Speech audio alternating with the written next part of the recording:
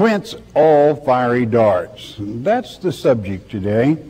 And it has to do with the authority and the power that God puts in your hand in the closing days of this um, particular dispensation of time. Open your Bibles, if you would, to the great book of Isaiah. We're going to take chapter 1. And what does, what does Isaiah mean in the Hebrew tongue? It means salvation of Yah, salvation of Yahweh, our Heavenly Father. And naturally, who is the Savior? It's Christ and uh, foretelling that coming, that gift to mankind that would uh, give us repentance from our sins and give us eternal life. So, with that having been said, Isaiah chapter 1, let's pick it up in verse 18 if we may. Come now and let us reason together, saith the Lord.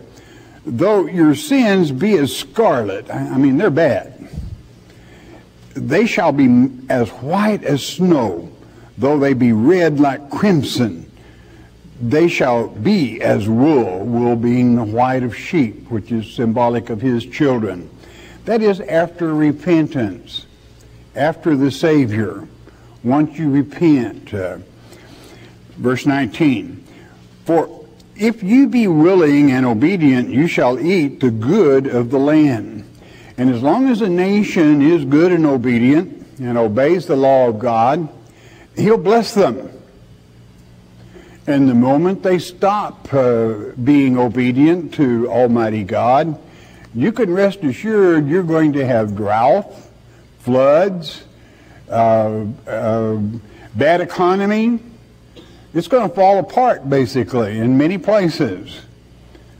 And, well, is that because they're disobedient? Well, I don't know. What do you think?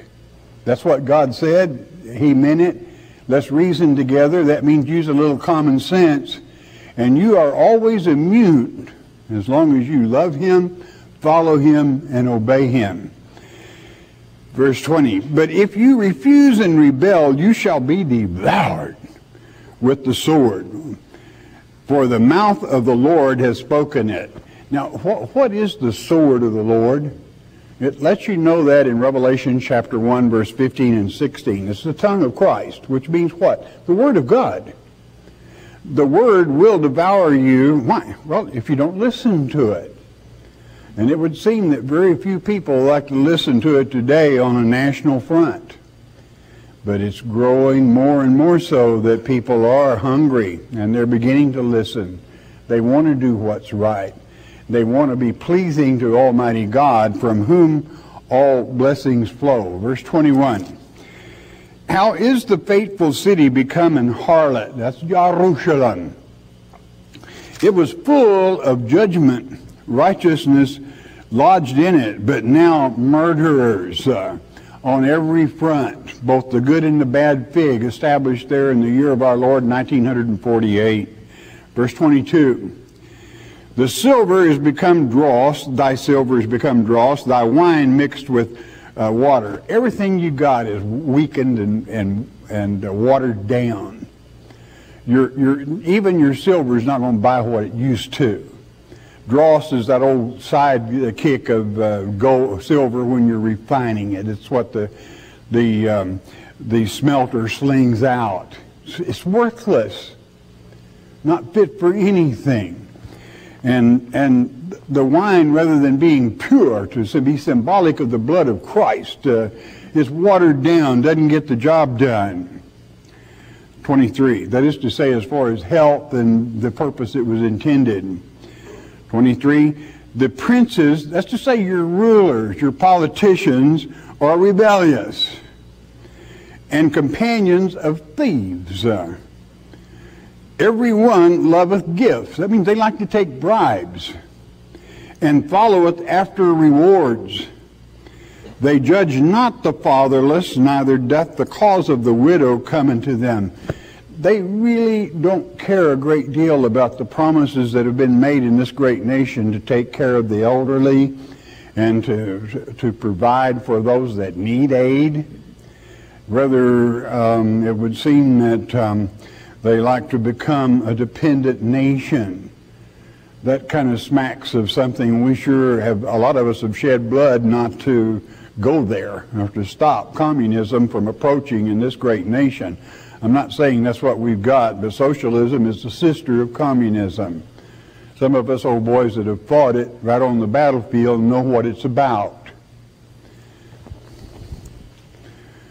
24. Therefore saith the Lord, the Lord of hosts, the mighty one of Israel, Ah, I will ease me of mine adversaries and avenge me of mine enemies. He's still on the throne. He's going to have his way. You can count on it. It's going to happen exactly as it's written. It's better than tomorrow's newspaper. You read it lately.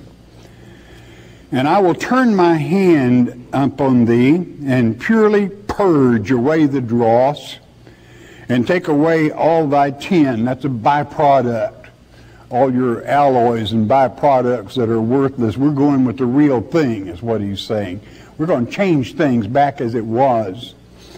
26, and I will restore thy judges as at the first. That's judges that go by God's law and commandments. Uh, general law established in, the, in Europe was later brought to this nation in the form of the Constitution, which was taken right from this word. And thy counselors, as at the beginning, they're going to use common sense. They're going to reason together. Afterward, thou shalt be called the city of righteousness, the faithful city. In other words, it's going to be restored. Any way you want to slice it, that's coming. The misfits might have their day, but their day is drawing to an end because the day of vengeance cometh, and our Father is ready for it. Again, you that obey him, you're immune, you're inoculated to that deception and that falseness, and you rise above it uh, with his blessings. 27 Zion shall be redeemed with judgment and her converts with righteousness, those that convert to true Christianity, and the destruction of the transgressors and of the sinners shall be together, and they that forsake the Lord shall be consumed. And of course, God is a consuming fire. Naturally, He's a loving God also. And He waits until the end of the millennium before that consuming fire comes into existence, meaning what? meaning all those that had no opportunity to learn the truth from God's Word in spiritual bodies through the millennium, not a second chance, they haven't had a chance to start out with. They're going to learn in the millennium. Then comes the consuming fire. God is that consuming fire. Your documentation, Hebrews chapter 12, last verse. And that's when that will transpire. Why? Well, when we go into the eternity, we don't want nonsense with us. We want peace and liberty as it was intended, intended by our Heavenly Father. Verse 29 For they shall be ashamed of the oaks which you have desired, and you shall be confounded from the gardens that you have chosen. Gardens are kind of your little paradises, your little churches. The oaks is your grove worship where you, you, rather than really studying God's Word, you find other forms of religion to entertain yourself. And not good at all. What he's saying is false religions will be put an end. It's not going to happen any longer. We're going to have him with us. Uh, grove worship has been a, this is where Ishtar, which is a, a pagan goddess, came to be and how precious it is to know God's word. Last verse uh, coming up, 30. For you shall be as an oak whose leaf fadeth. It's not going to be much. Oak is a mighty powerful tree, but you cut the water off of it and she's a, it, it's, it, it hurts. Leaves fade. And as a garden that hath no water. Have you ever seen one? It's brown and lifeless. That's what false religion will bring you. Not eternal life, but dead, death. Spiritually deader than a hammer they are. Verse 31 to complete the chapter. And the strong shall be as tow, and the maker of it as a spark. and they shall both burn together, and none shall quench them. Nobody's going to put it out. You know, uh, tow is a wick. He said, the, the enemy and, and the false ones are going to be just like a wick. And that old spark, which is God's word, the power, the light, is going to set it off. And when he does, nobody's going to stop it. To quench in the Hebrew means to put out, to take over. Satan tries it. He's not going to make the ripple. But you're going to, you're going to learn how to, to put out and to quench anything Satan might try to start. Turn on with me to the 34th chapter, if you would, of this same book. 34th chapter of Isaiah.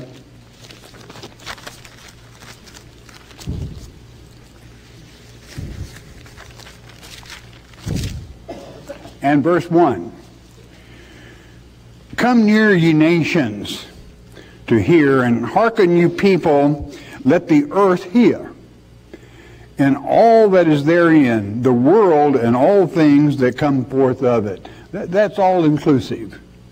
You want to open up and you want to listen. Verse 2 For the indignation of the Lord is upon all nations, and his fury upon all their armies. He hath utterly destroyed them, he hath delivered them to the slaughter. And when you don't do it God's way, you can be in a heap of hurt. You know, God's instructions in the beginning or at a military camp, you even put the straddle trench, which is the, the restroom, we'll call it, outside of the compound. You don't bring it near. And the funny people, you certainly keep 10 miles away from the camp. But things change. And God is not happy. His indignation boils when he sees what transpires in this world today with perversion and other things in a nation founded. When those ten tribes, which is, makes up the house of Israel, went over those Caucasus mountains, settled Europe, many of them later coming to Canada and the United States of America those houses, that true house of Israel, not, we're not talking about the house of Judah here, but the house of Israel. God expects more from it. That's why it's blessed. It's not an accident that this nation has always been blessed. God promised it as long as you would obey Him, practice freedom, and stick with this word. The further we grow away from this word, the more His indignation rises. It's common sense. That's why he said, hey, let's just talk about this. Let's reason together. What's wrong? You don't have to look very far to figure that out. Anyone with common sense, you know. So, and so it is that uh, he prepares. Verse 3 Their slain also shall be cast out, and their stink shall come up out of their carcasses, and the mountains shall be melted uh, with their blood. We're moving on here to that time of Hamon-Gog and Armageddon. Um, and uh, verse 4 And all the host of heaven shall be dissolved, and the heavens shall be rolled together as a scroll. Satan's going to be cast out right to this earth. And all that host shall fall down, as a leaf falleth off from the vine, and as the falling fig from the fig tree. That's why Christ said, learn the parable of the fig tree. He didn't say maybe. He said, learn it. And that's why the, the year 1948 becomes so prominent because the wise are supposed to, they'll know, no one will ever know the hour, but you're supposed to know the season. And we're in the season of that old fading fig, big time. and verse 5 reads, for my sword shall be bathed in heaven. Behold, it shall come down upon Idumea and upon the people of my curse to judgment.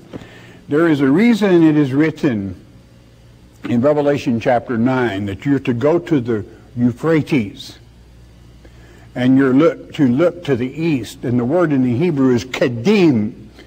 It means you can't look there from here. You got to go there and you look and what do you see over there? You see turbine You see Taliban. You see those spoken of by our Heavenly Father. What is Idumea? Idumea in the Hebrew is, is the blood, but it means Edom, which is red in the Hebrew tongue, and it's talking about Russia. Okay. but Edom, at the time of this writing, was where Syria, Jordan, and Lebanon sit today. He said, You're going to see trouble there. Of course, we've been warned of this over and over. So keep your eyes open. Why would God's curse be upon them? Well, what, what do you think? What do they do? How many people do you know that have young people that you educate them in your church to blow their guts out? I mean, that's a little basic and plain, but let's face reality is reality. And truth is truth.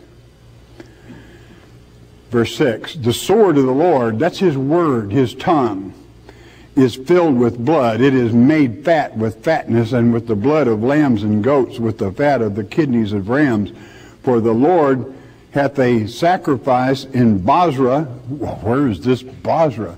Bozrah means fortress in the Hebrew tongue, and it, where does it sit? Along about Jordan, Syria uh, today, and a great slaughter in the land of Idumea when Russia tries to back them up.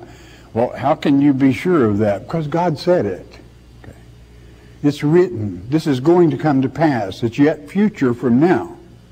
But we're getting there. Verse 7 And the unicorns shall come down with them. There's no such thing as a unicorn, and in the Hebrew tongue, this is wild ox. Okay? So you can always correct that. It's wild oxen. Shall, Bozrah was known for the beast there. Uh, the, shall come down with them, and the bullocks with the bulls, and their land shall be soaked or drunken with blood, and their dust made fat with fatness. Well, it's kind of getting there anyway. It means it's going to be fertilized with blood. Verse 8 For it is the day of the Lord's vengeance and the year of recompenses for the controversy of Zion. It is coming, beloved. What, what do you have to fear? Nothing. You could be right in the center of all this, and God takes care of his own. This is why when Shadrach, Meshach, and Abednego were cast into the fiery furnace, they weren't even singed because Christ walked with them. The Savior was with them. As long as you use this, that's your brain, and reason together with Almighty God from His Word and in prayer, you're going to rise above deception because, you know, a man only fears the unknown. And when God lets you know beforehand what's going down, a good man or woman always makes preparation. You're either going to go through it over it, under it, around it, some way, you're going through. Okay. But that's what the truth does for you. It alleviates anxiety and lets you know your Father expects you as one of his own to make a stand, to stand for what is right, common sense. That day of vengeance is coming. When was it coming? Well, no one knows the exact hour, but it's in the generation of the fig tree, and that generation started in the year of our Lord 1948 when Israel became a nation again. On the map, that set the, that set the fig out, both good and bad. The good fig and the bad fig.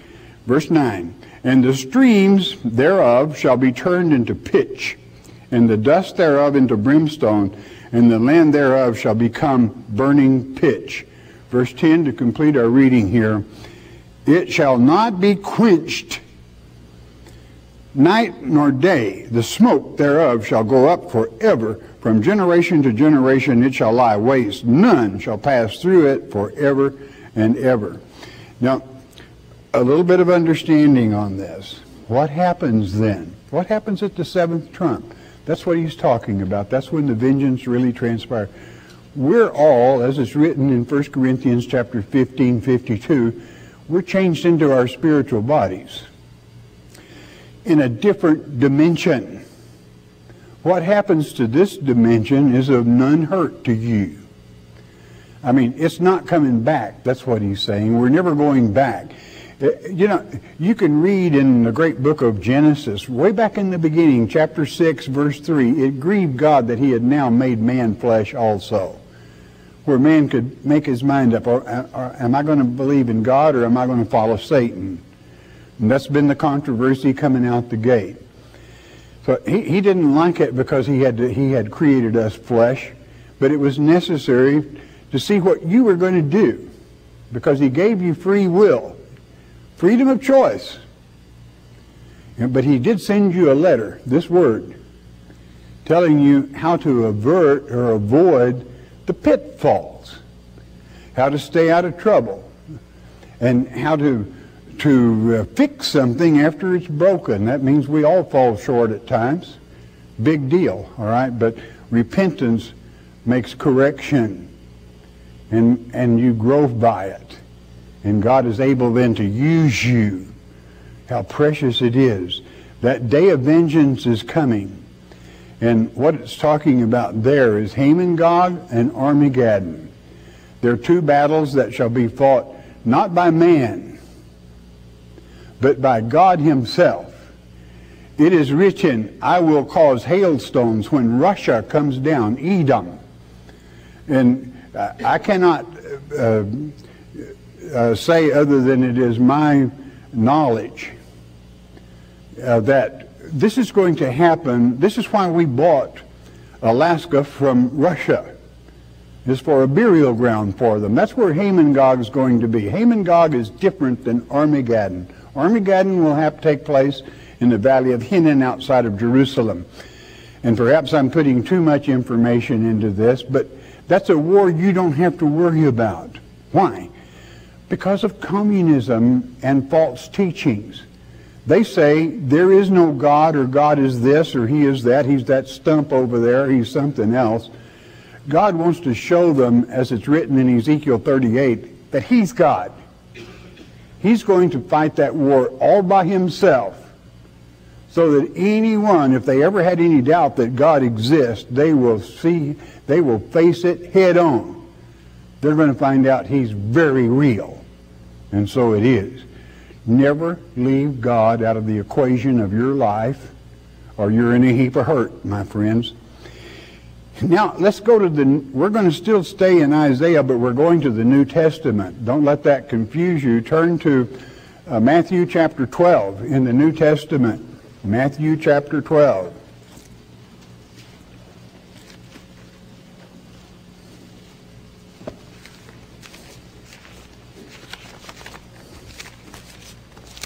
Matthew chapter 12.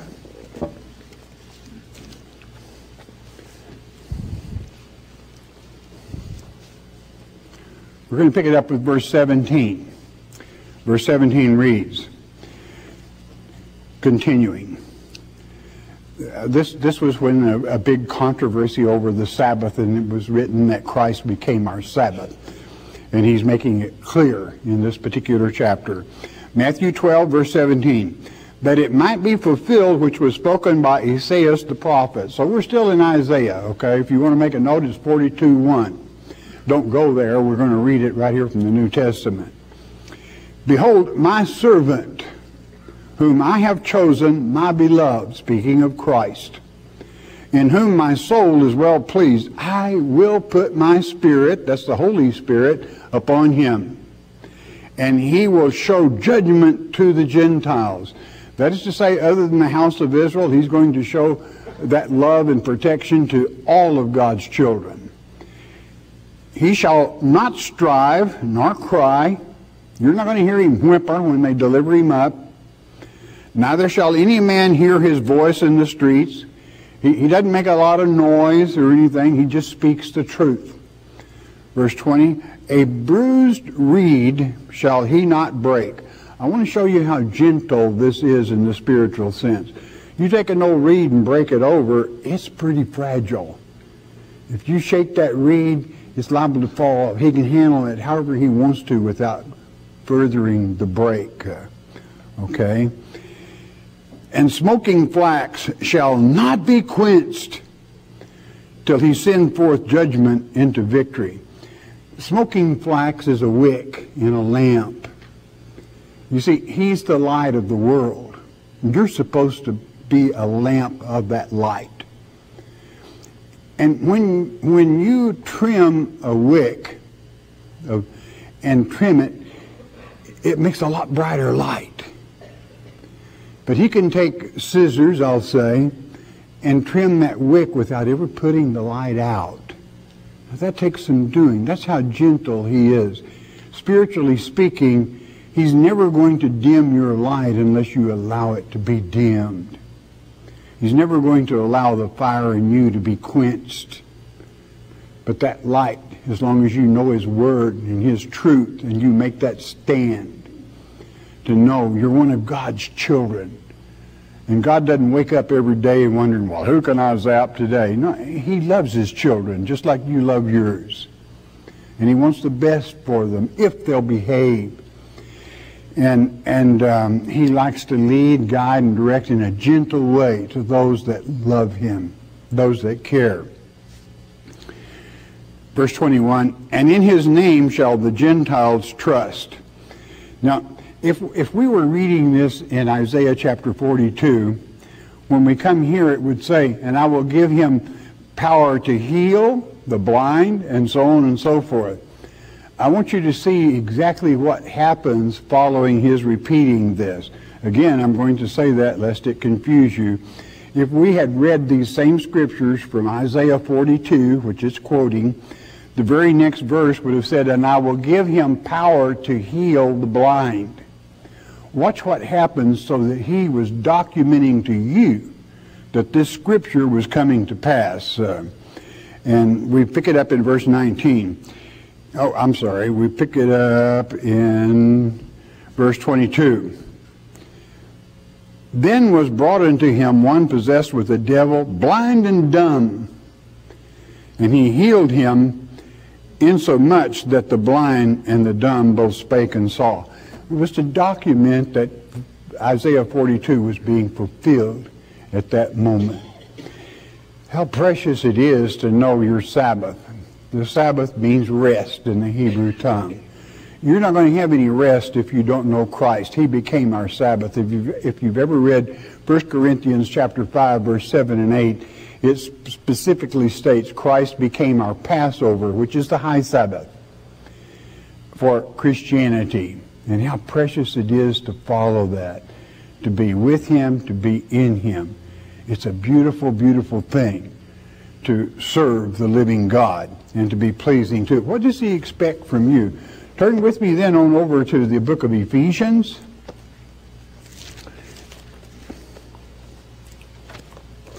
Chapter 6.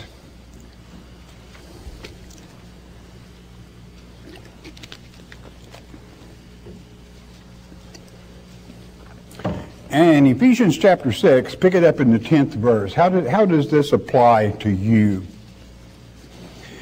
And, and uh, Paul teaching, finally, brethren, finally, my brethren, be strong in the Lord and in the power of his might. Now, as a Christian, I want you to know one thing. When you're at your weakest, all your strength comes from him and when you're weakest, he comes to help you when you're right. So then you become your strongest. So always remember that. When you're your weakest, turn to him and you're your strongest because we draw strength from him. He is our strength. That isn't that isn't playing church. That's a reality. Christianity is not a religion. It is a reality. And um, verse 11 Put on the whole armor of God, that you may be able to stand against the wiles of the devil. You can handle anything he can put out. If you put on the gospel armor, which is, we'll explain here in a moment just exactly what it is, piece by piece. Satan hasn't got a prayer of a chance with you. The moment of temptation, that's when, when many people are tempted by he as the false Christ, being Antichrist. But if you have the gospel armor on in place, you don't find him tempting. You find him to be an abomination, which he is. Verse 12 For we wrestle not against flesh and blood, but against principalities, against powers, against the rulers of darkness of this world, against spiritual wickedness in high places. That means even evil spirits. And Satan trying to gnaw at your life, to change your life, to tempt you. Do you know something? He knows your weaknesses. He, he pays close attention. And many might say, well, well, I, I understand the word. Well, he does too. How did he tempt Christ in the wilderness? With Scripture. Satan can quote more Scripture than most Christians. Uh, but he always twists them about 90 degrees to make it a lie instead of the truth. Matthew 4 documenting that. Okay, so, so we have power over that darkness. That's why you put the gospel armor on. Well, make it real plain for us. So you're not taken in. So you're not made a fool of by fancy tricks or sayings or lies that someone else can say. Because why? You know the truth.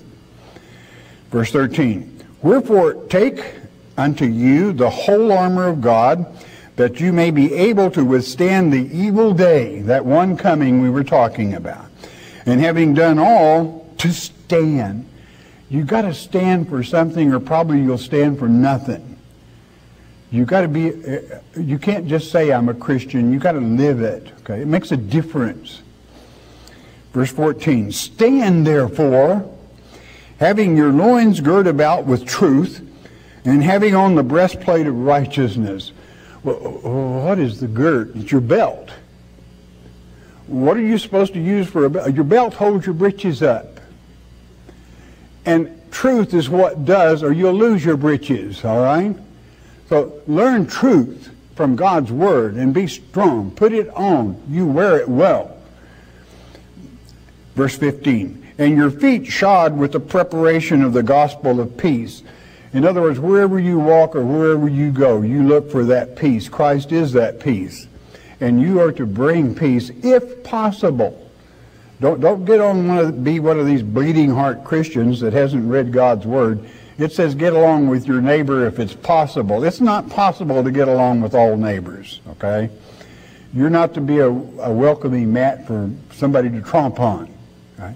You're a man, woman, child of God. You act like it. Verse 16, above all, most important thing, taking the shield of faith. And Christ is that shield then, that faith if you have faith in Him, that shield will uh, turn off anything that anyone passes to you, as long as you use common sense. Wherewith you shall be able to quench, that's why we came here, to quench all the fiery darts of the wicked. You can put them out. Satan tries to start a fire just like God. God's a consuming fire. Satan wants to be. But he gives you power to just puff him out. I mean, quench him, snuff him out, get it done. You do that by being familiar with his word and being armed with the, with the gospel armor, on and in place. And then you have nothing to worry about. There is uh, uh, fear, I guess uh, a coward dies a thousand deaths, a brave man dies once.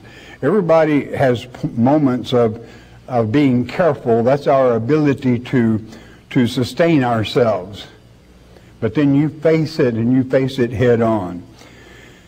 And uh, so that's the most important. You stand and you make that stand uh, against those uh, fiery darts. Every one of them, all of them, it said, not part, all.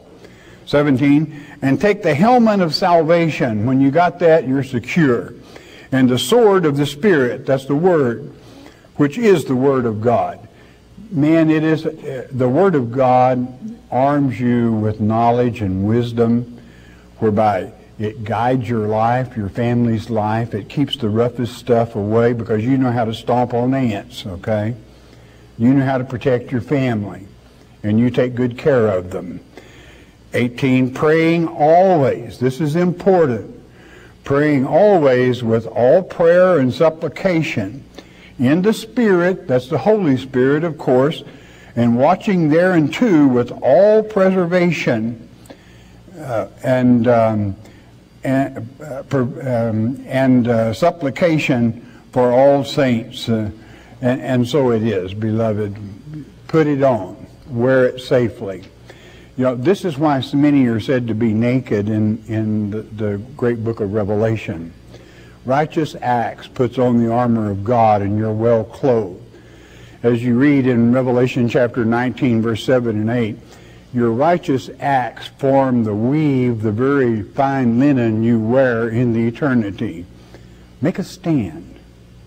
Let our Father know you love Him and that you're ready to serve Him. He will never leave you. He will never forsake you. Why? He loves you. You're His child. Heavenly Father, thank you, Father, for the Word. Thank you, for Father, for the written word as well as your given word, Father, in prayer and thanksgiving.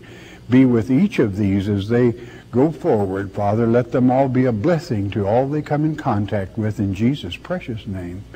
Amen. Mark of the Beast on CD is our free introductory offer to you. What is the Mark of the Beast? Many false teachers would have you believe it will be a tattoo on your forehead or a computer chip implanted under your skin. It is getting late in the game. You need to know what the mark of the beast is. As it's written in Revelation chapter 13 verse 8, many will be deceived. There is no need for you to be deceived. Christ said in Mark 13:23, "Behold, I have foretold you all things." Jesus indeed told us how not to be deceived, and Pastor Arnold Murray takes you on a step-by-step study of God's Word concerning this critical subject, the mark of the beast.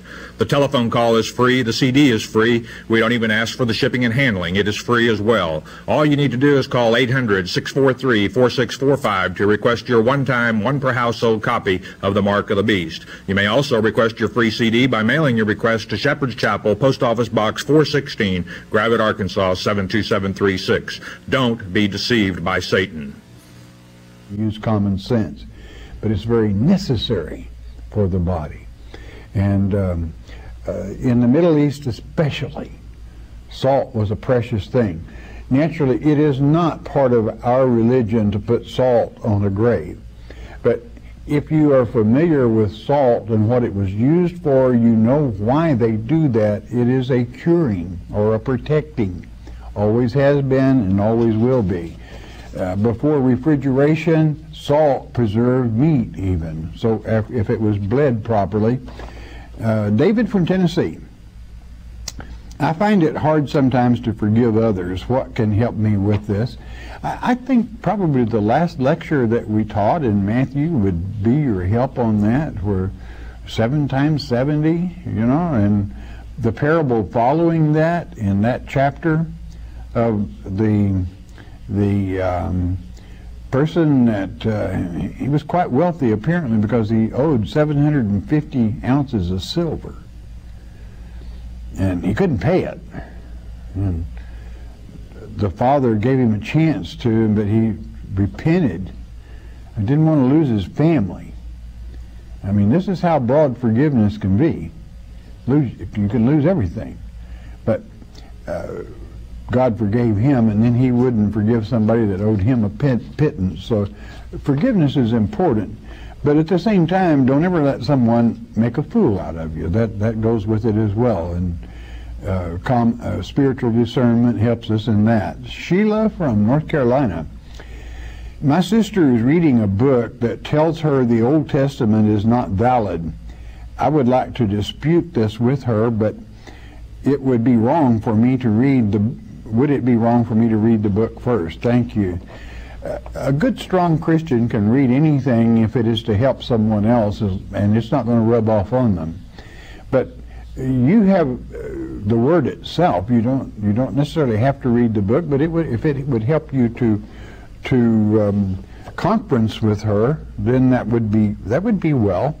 But let's say, what is it mean? What does it mean when Christ would be asked a question and he would say, "Haven't you read?" You see, when Christ walked the earth, there wasn't a New Testament. There was only the Old.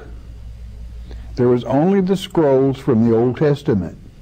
And that's what Christ wanted you to read. And he quoted over and over and over again from those manuscripts. And uh, one of the places most interesting to me is would be Mark chapter 13 where Christ would say when you see the abomination spoken of by Daniel the prophet that's the appearance of the antichrist. She doesn't want to know that from Daniel. Daniel is no good because somebody writes a book to probably make money and throw people a curve like that. It's basically like bringing them to worship the devil because if you don't understand the Old Testament, that speaks certainly of example Ezekiel 13 don't teach my children to fly to save their souls because there's not going it's not going to happen and and I'm against it. But yet you'll have people teach people to fly to save their souls. Go directly against God's word. So it's very important. There is more about the millennium in the book of Ezekiel from chapter 40 to the end than there is in the whole New Testament. So uh, your sister has been had, all right? So if you can help her, God bless you. That's great. Rick from Florida. My wife and I study with you every day for eight years. My cat is very sick with cancer, and we have been treating her with chemo for six months. Would it be considered premeditated murder if I had her put down? Oh, no, no. It would be considered love. Love for that pet, that she didn't suffer. There's um, that, you know, when, when tough love is a hard thing sometimes, and it hurts. Tough love can hurt. But if, if, um, if it is terminal and there is no hope now, then uh, she needs peace and if you read Leviticus chapter 11, God loves animals. That's why he created them. And you notice that they also are in spiritual bodies in the millennium in heaven. And um, it, it, it, it's tough, but it shows you love that pet. Don't you ever let somebody put you on a guilt trip for that. Albert from Iowa. About 30 years ago, I lost one of my twin daughters. I blame God for that. Now I realize God took her home. Should I ask the Father to forgive me for that? Also, how can I forgive myself? God bless all of you. Well, He sure does. And, um, you know, um, things happen. They do. And uh, when you read the uh, 14th chapter of Luke, the Tower of Siloam, it fell on 18 people.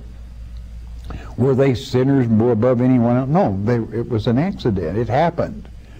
So things do happen in this world, and and uh, but it is true they are with the Father now, and will He forgive you seven times seventy, four hundred and ninety times?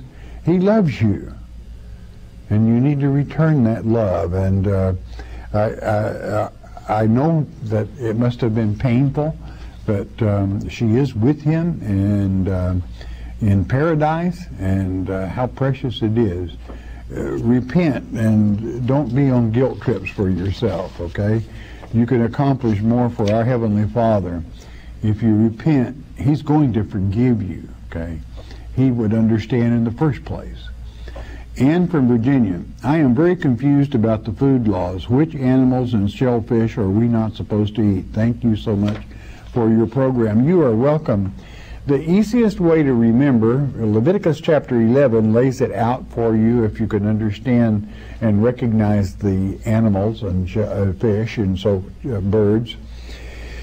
but don't eat scavengers. That's what it really comes down to. Well, are the scavengers bad? No, they're good. God created them to keep disease cleaned off this earth. Okay, they take um, you take an old vulture uh, when something dies, he takes care of the remains and cleans it up.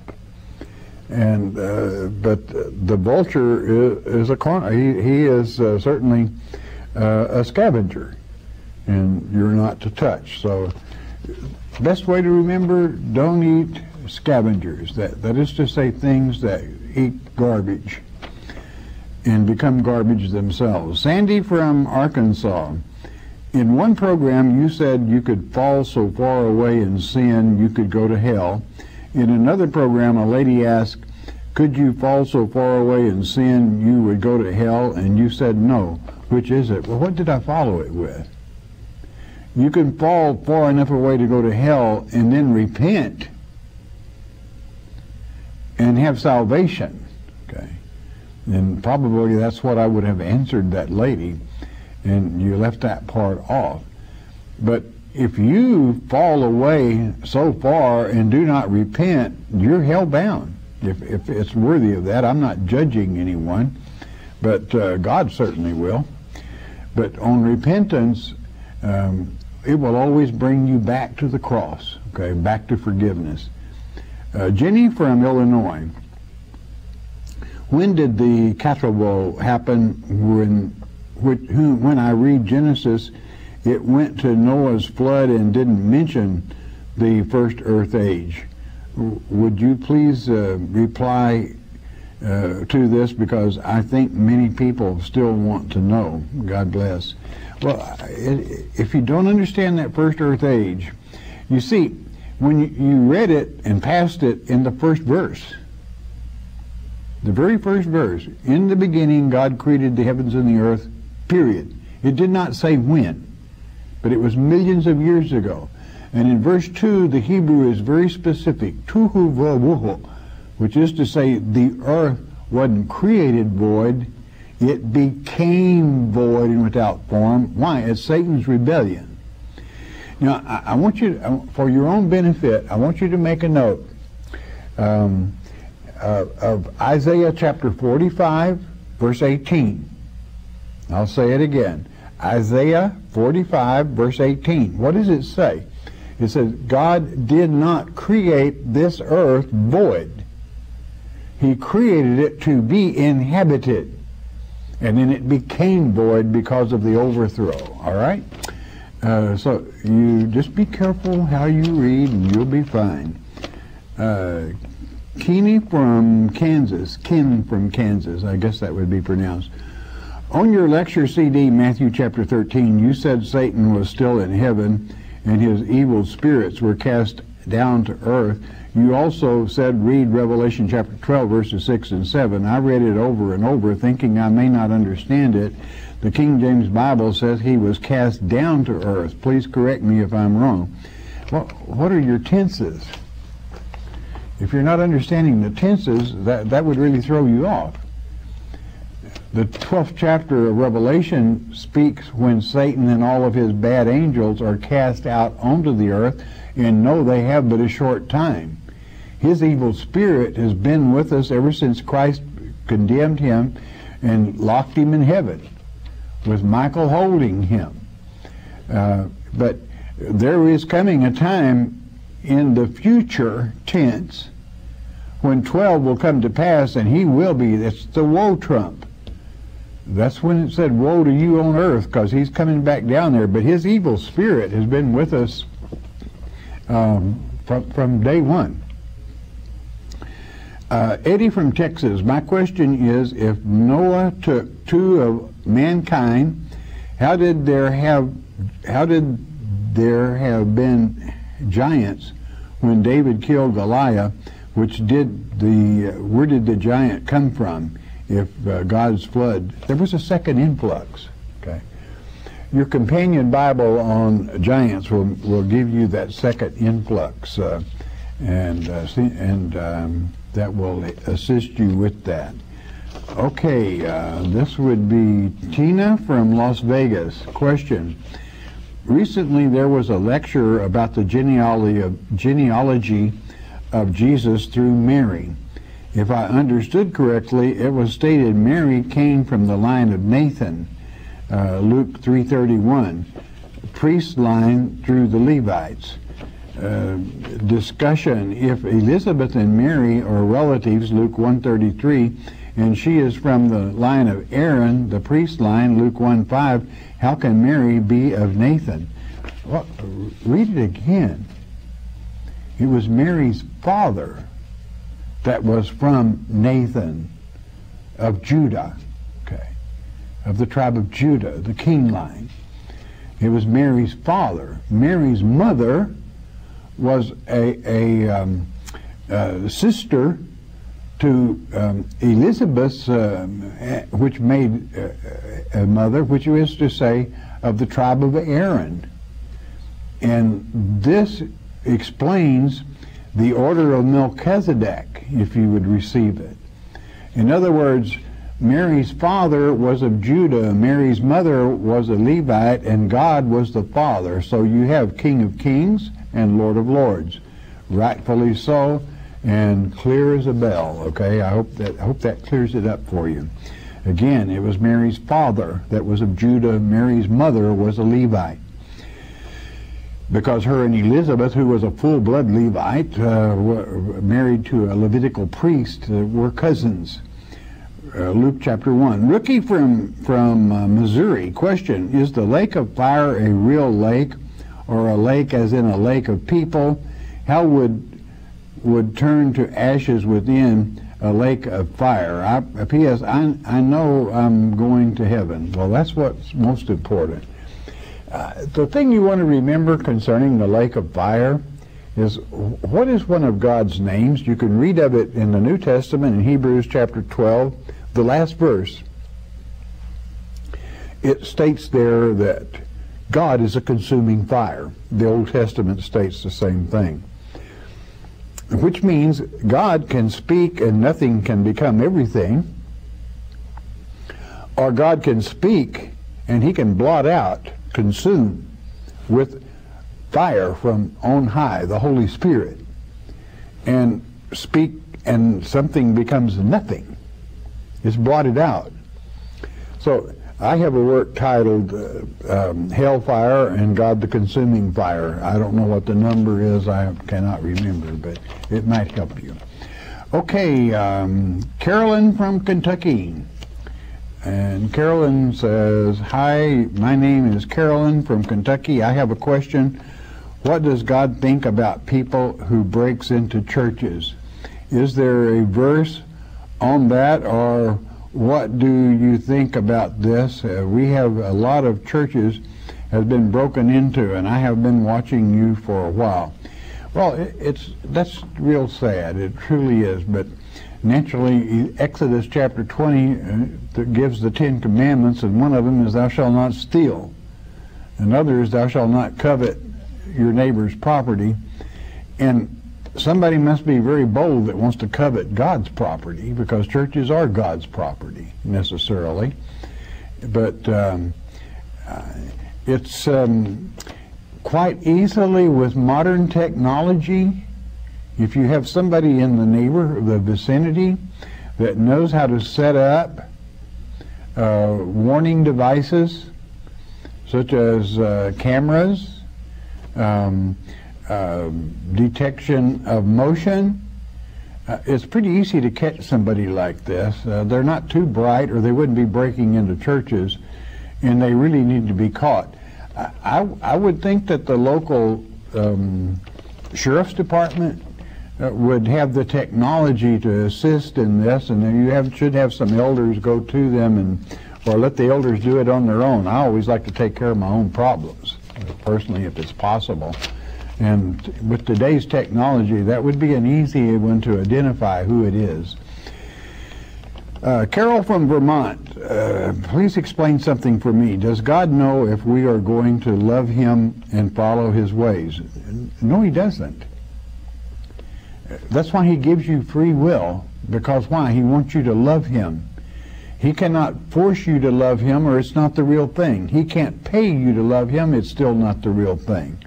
I ask this because I've heard you say he was he has blinded some people from the truth. I assume because he already knows they won't follow him in this age. No, you misunderstand. He blinds them because he loves them. He, he blinds them from knowing the truth because when you know the truth, you are accountable. Only God's elect, I would assume, and those that have been taught and know what's happening, uh, can withstand Satan without deception. But he is so convincing that some people would fall, and that would be, if they came into full knowledge, it would be unforgivable. So God blinds them so they're not put in that position, and then in the millennium, they will have an opportunity to be taught. It is because God loves his children. And he does sense and know who is weak, and he knows by election who is strong. Faith from Michigan. I'm having trouble understanding the Bible. How can I understand it better? Um, Faith, age 10 from Michigan. Well, bless your heart. You, you're, you're doing real good, I would say, because you're studying. And it will come to you in the simplicity in which Christ teaches it. Um, as soon as you're in a position where you can, get you a Strong's Concordance and go all the way back to the new language, the old languages, when you have that opportunity. But you're doing good. You keep studying, and God's going to bless you. It makes Him real happy when you study. I'm out of time. I love you all because you enjoy studying God's Word. Most of all, God loves you for it. It makes His day. When you study the letter He has sent to you to help you please Him, to protect yourself, your family, those you love, and to be blessed of God. That's why he wants you to handle that letter. Why? Again, because he loves you. When you make his day, boy, is he going to make yours. We are brought to you by your tithes and offerings. If we have helped you, you help us keep coming to you. Once you do that, you bless God, he will always, I do mean always, bless you. Most important, though, you listen to me and you listen good. You stay in his word. Every day in his word is a good day, even with trouble. Do you know why? Because Jesus, Yeshua, is the living Word. Hearing God's Word with understanding will change your life. We hope you have enjoyed studying God's Word here on the Shepherd's Chapel Family Bible Study Hour with Pastor Arnold Murray. If you would like to receive more information concerning Shepherd's Chapel, you may request our free introductory offer. Our introductory offer contains the Mark of the Beast audio tape, our monthly newsletter with a written Bible study, a tape catalog, and a list of written reference works available through Shepherd's Chapel. To request our free introductory offer by telephone, call 800 643 4645 24 hours a day. You may also request our introductory offer by writing to Shepherd's Chapel, Post Office Box 416, Gravette, Arkansas 72736. Once again, that's Shepherd's Chapel, Post Office Box 416, Gravette, Arkansas 72736. We invite you to join us for the next in-depth Bible study each weekday at this same time. Thank you for watching today's program, and God bless you.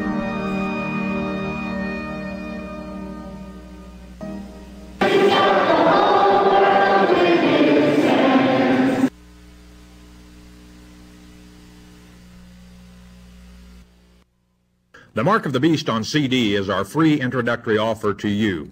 What is the Mark of the Beast? Many false teachers would have you believe it will be a tattoo on your forehead or a computer chip implanted under your skin. It is getting late in the game. You need to know what the mark of the beast is. As it's written in Revelation chapter 13 verse 8, many will be deceived. There is no need for you to be deceived. Christ said in Mark 13:23, "Behold, I have foretold you all things." Jesus indeed told us how not to be deceived, and Pastor Arnold Murray takes you on a step-by-step study of God's Word concerning this critical subject, the mark of the beast.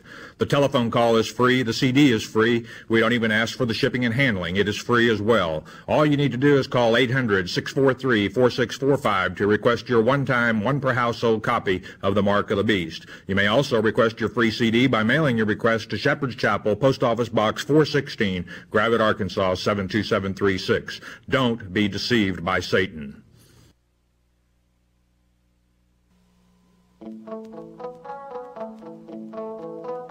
no, no.